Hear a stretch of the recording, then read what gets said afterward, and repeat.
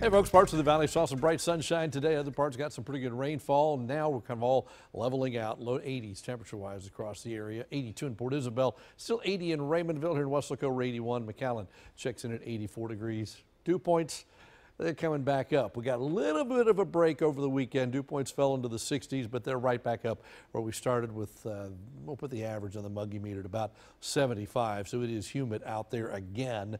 And for the most part, it'll stay that way for a while. We don't see big changes as far as that's concerned at all. That means our low temperatures tonight stay in the upper 70s again and even low 80s along the coast, 82 at South Padre Island. Then tomorrow's highs back in the 90s across most of the area. If you get a quick shower, thunder shower, you'll cool off into the 80s at least for a little while. And of course, days are getting shorter, so once you cool off, it's hard to warm back up, so you stay in the 80s most of the rest of the day.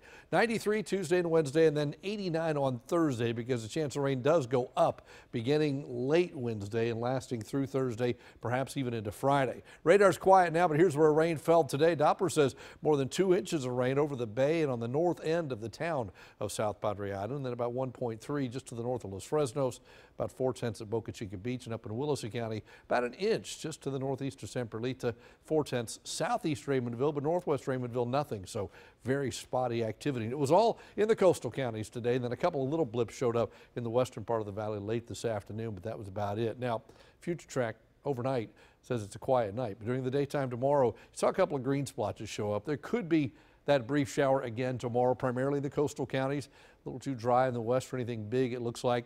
Wednesday, we start to moisten things up a little bit, but I don't think we see a lot during the day. I think it's Wednesday night when we start to moisten up and see a line of showers and thunderstorms work their way to the region. This is 3 a.m. Thursday, and look at all that yellow and the orange down there. That's indicative of not only showers, but some pretty good thunderstorms, and they kind of stick around during the daytime on Thursdays. We have 20, 30, 50 your rain chances the next three days. Big picture showing the rest of Texas pretty quiet across the state. A front pushing into the state. Here it comes. That's what's going to trigger showers and thunderstorms later this week. And even though the front probably won't go through the valley, it should stall just to the north. It'll be close enough to be a focal point for showers and thunderstorms to develop. Then the front falls apart on Friday. The moisture lingers. Tropics, here's what's going on.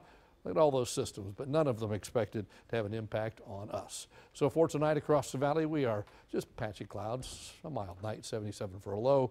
Then tomorrow back to 93 with a shower in a couple of spots, but nothing big, nothing widespread, just stray showers. Better chance of rain, not during the daytime on Wednesday, but Wednesday night into Thursday. Thursday looks like probably the best chance for rain this week, kind of lingering into early Friday. Then hopefully by the end of the day Friday it moves out. Saturday and Sunday, not much more than about a 20% chance for showers. So the best chance looks to be Wednesday night and during the daytime on Thursday.